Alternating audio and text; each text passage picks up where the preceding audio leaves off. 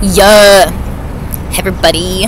How we doing? This is the second word of the day. Cause your girl slaying.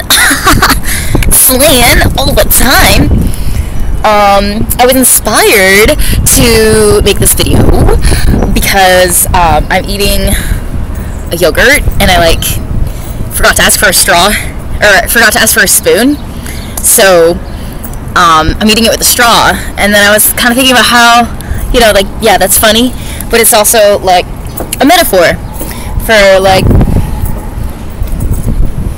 ow, mother effer, um, like how sometimes you have the resources, but you just don't have the right tool in life.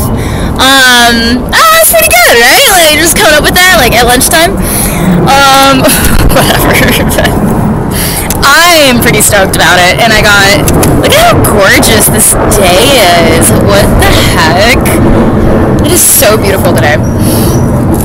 It is so beautiful today. I can't even get over it. Um, and then um, it kind of made me think about too, like just some more proverbs verses. I don't know. I'm really inspired by proverbs right now, and I'm trying to be like a Proverbs woman. And like garments that cover and like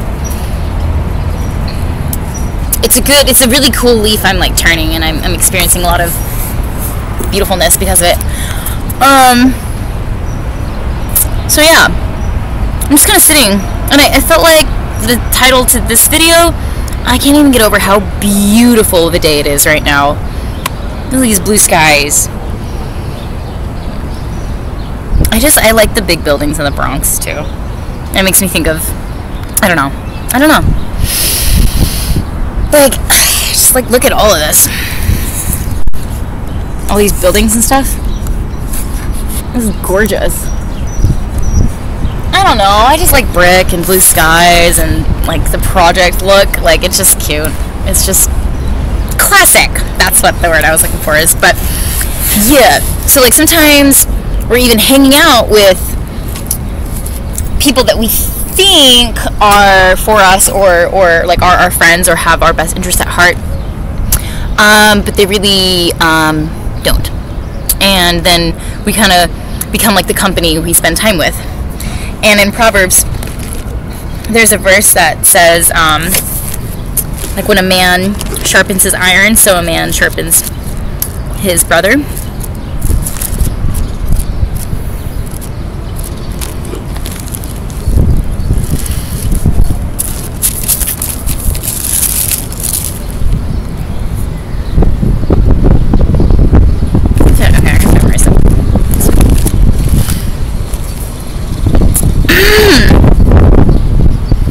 um yeah, I'm, I don't know, I'm really inspired by Proverbs recently right now.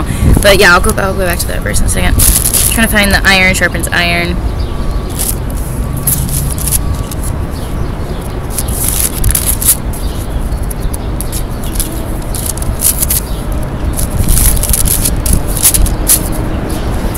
Yeah. Mm. Mm-hmm. Yeah, there's so much good in. Yeah, this was actually the verse I was thinking of this morning. Um, before a crash, this is Proverbs 18:12. Before a crash, the heart of a man is lofty. Before glory, there is humility. Yeah, dang, that's good. I'm trying to figure out how to like get this. Not anything to put it on. Dear Jesus, give me the wrist strength to hold my laptop. Um, the yogurt originally inspired this this video. Um, and we sometimes have the resources, but we don't have the right tools. Um, so like, I'm like halfway through it. I've like been able to manage to like eat yogurt with a straw, like using the straw. Um, and sometimes when we're in these moments of like, okay, I think I have the right resources, um, and not the right tools, like we can have the option to speak life into it. Um, And that's why this verse here is Proverbs 18:21. Death and life are in the power of the tongue, and he that is living, it will eat its fruitage. So yeah, our our words are more powerful than we can even imagine. Um, and it's gonna be like a quick word too, because like it's totally on the spot and like impromptu. I was literally just eating my lunch, and then I was inspired by the yogurt idea. Um, so sometimes too, we think our friends are our resources, and or our like our fa- our support network, our family. Um, but that's not always the case, and so for anyone that's in like a season of confusion or uncertainty, um, be aware of like who you're spending your time with because that can that can influence that can influence what um, you become like. You know, it's influ- it's influential upon you and like your behavior and your mannerisms. Um, even picking up slang like vocabulary, um, picking up an attitude. Like pe- spending time with people, it, it's more influential than I think we even realize. So that's why I really like this verse. I just had it. Come on. Okay. Proverbs 27 17. By iron. Let's wait for this to go.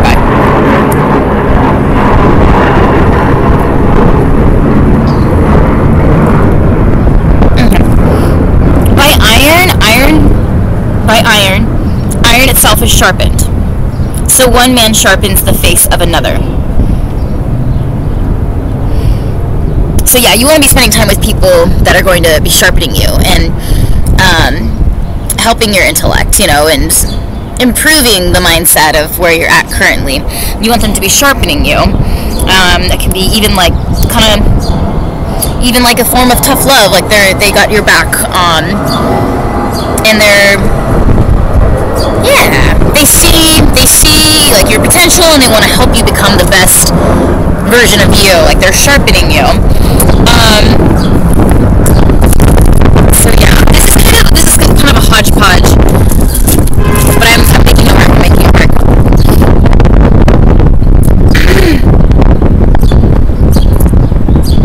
Um, so if you're in a certain area of life right now too, I'm just kind of going off of Proverbs. I'm really inspired right now by Proverbs. Is that when we're in areas of our lives that it's like, I wonder if I can like, here. There we go. There we go. Gosh, I couldn't figure out how to do that. Um, so yeah, if you're in an area of your life where you're like, okay, the resources are, are here, but I just don't have the right tools. It works. it kind of works. Um, you can know that you're able to kind of like get yourself out of that stitch by acts of faith. And as we all know too, that faith is dead without works of or acts of faith. Um, let's see here. Proverbs 28 20. A man of faithful acts will get many blessings, but he that is not hastening to gain riches. Hmm. A man of faithful acts will get many blessings, but he that is hastening to gain riches will not remain innocent. Mm. Yeah, yeah, yeah, yeah. So kind of like, I found another verse too that I underlined. This was kind of just like my, I underlined a bunch last night when I was reading in bed. Um, and it's, it was talking about how money can be related to the corruption of a, of a soul, but this is the positive side of it. Uh, at Proverbs 22 4, the result of humility and the fear of Jehovah is riches and glory in life. Isn't that beautiful? Isn't that beautiful?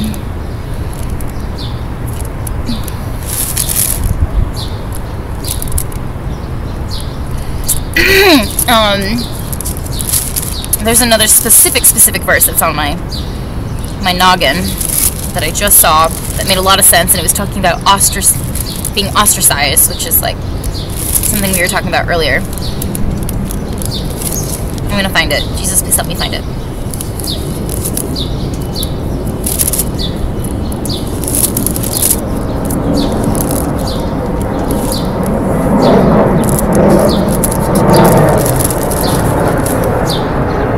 The one, thank you, Jesus. The, this is Proverbs 15 27. The one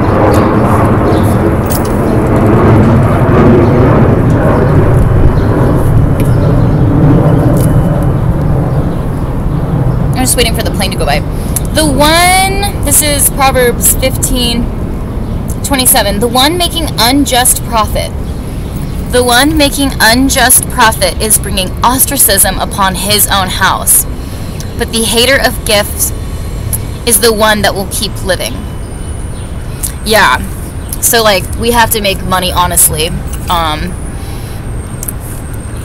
and and there is nothing that that good or bad that happens that doesn't um, be that isn't seen by Jehovah. Um, here we go. Perfect. Thank you, Jesus. You're so totally with me. Oh my gosh. Um, Proverbs 15:3. The eyes of Jehovah are in every place, keeping watch upon the bad ones um, and the good ones. Keeping watch upon the bad ones and the good ones. The eyes of Jehovah are in every place, keeping watch upon the bad ones and the good ones.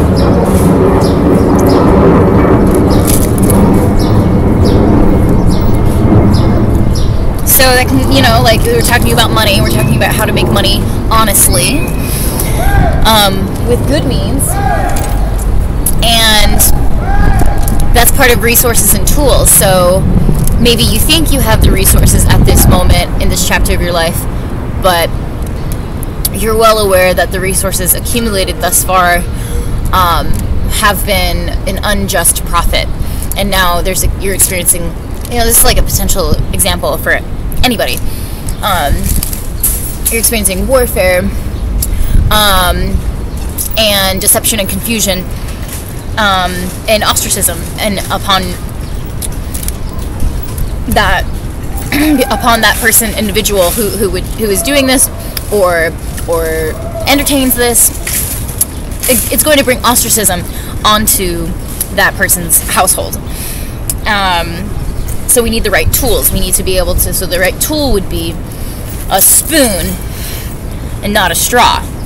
You can make it you can kind of make it work with the straw but you're not gonna get you're not gonna get the granola the good stuff the pineapple little bits the cut up pineapple bits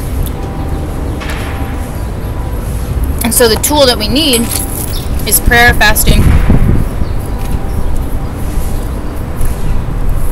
and faith. And acting on the faith because faith without act is dead. Yeah. Um and then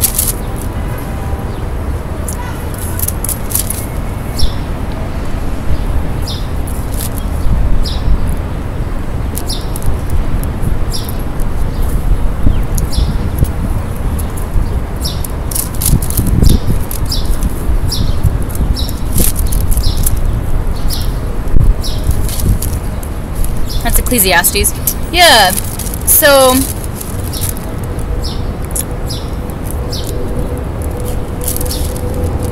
yeah, this is the um, so and the other tool that we're gonna need, um, say say that you you feel like you have most tools, but this tool is like super super super helpful. It's it's loving kindness, loving kindness, gentleness, like the, the spirit of patience and the fruit of the Holy Spirit. Like those are tools we can at any time revert to and and and seek um, and ask God to help bring into um, our spirit and raise us up and, and have Him act in our lives um, with His will and, and then raise His will in us um, up and then take our will out. But loving kindness is something that will always reflect God's love. So loving kindness is Proverbs 20, 28. Loving kindness and trueness they safeguard the king, and by loving kindness he has sustained his throne. So you're never gonna go wrong if you keep practicing patience, love, loving kindness, gentleness. Um, I like this so much too. This this this uh, verse. I read that last night. I thought it was beautiful. The beauty of young men, and this is 29, Proverbs 20, 29. The beauty of young men is their power, and the splendor of old men is their gray headedness. Um, so this life is a blessing through and through from day one till the very last minute, second we take our breath.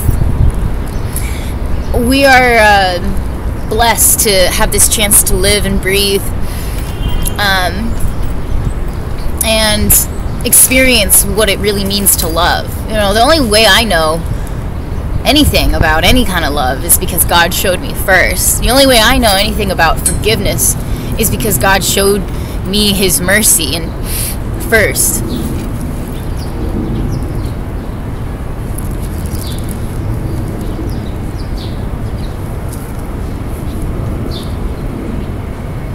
Thank you, Jesus. And the something I prayed for this morning too, um, and I because I liked the way it was written. I thought it was gorgeous. Um, May loving kindness. This is Proverbs three three. May loving kindness and trueness themselves not leave you.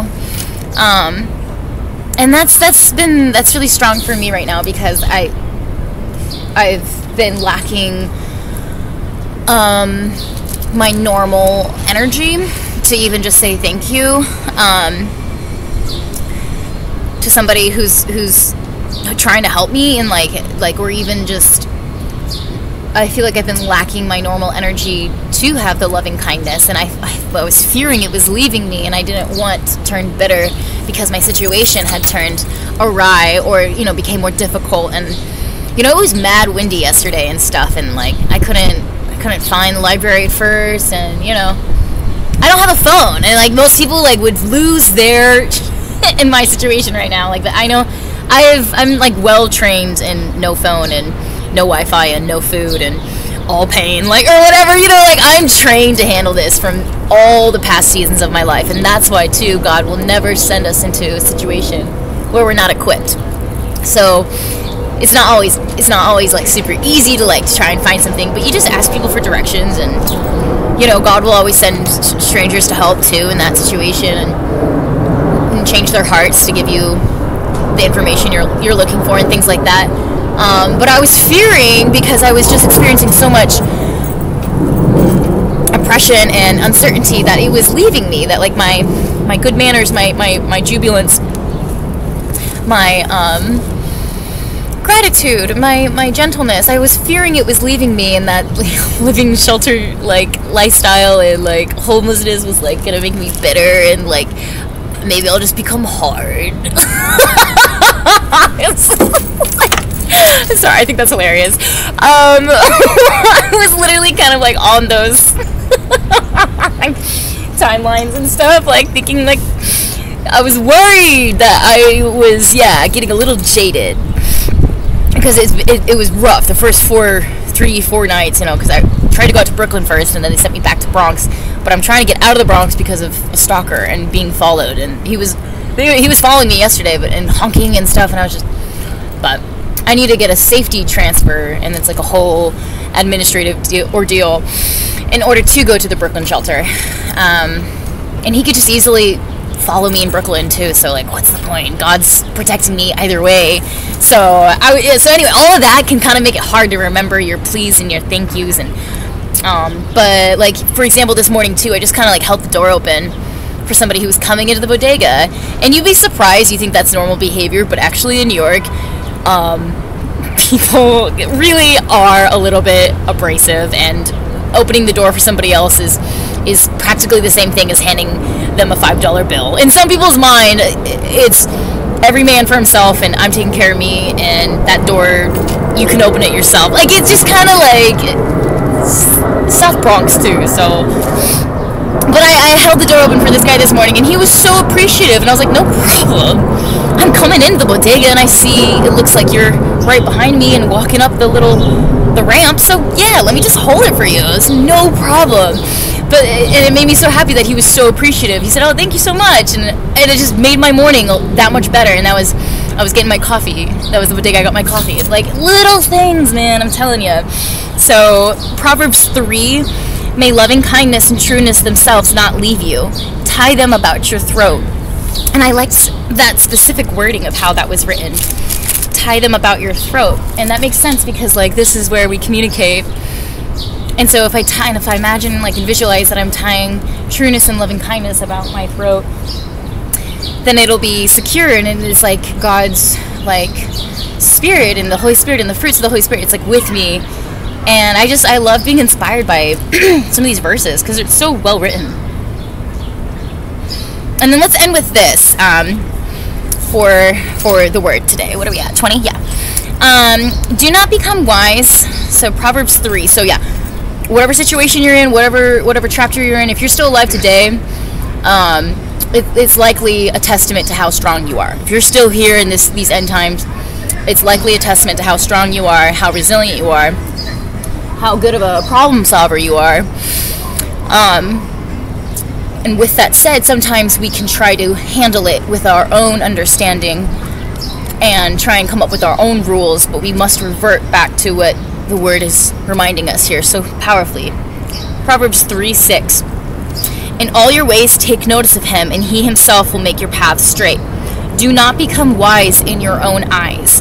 Fear Jehovah and turn away from bad. Fear Jehovah and turn away from bad. I love that. May it become a healing to your navel and a refreshment to your bones. Woo! I know, I'd be feeling refreshed. Dang. Dang, man.